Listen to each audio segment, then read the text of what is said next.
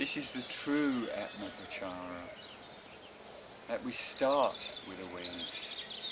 We rest as awareness while all thoughts and emotions simply come and go. Rather than start assuming ourselves to be an individual and striving to experience and attain.